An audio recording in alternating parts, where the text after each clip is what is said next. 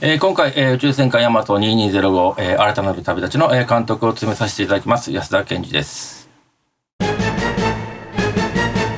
ー、新たなる旅立ちのリメイクではありながらえー、まあ、旧作には登場しない、まあ、別のタイトルで登場するヤマトのキャラクターが、えー、登場してきたり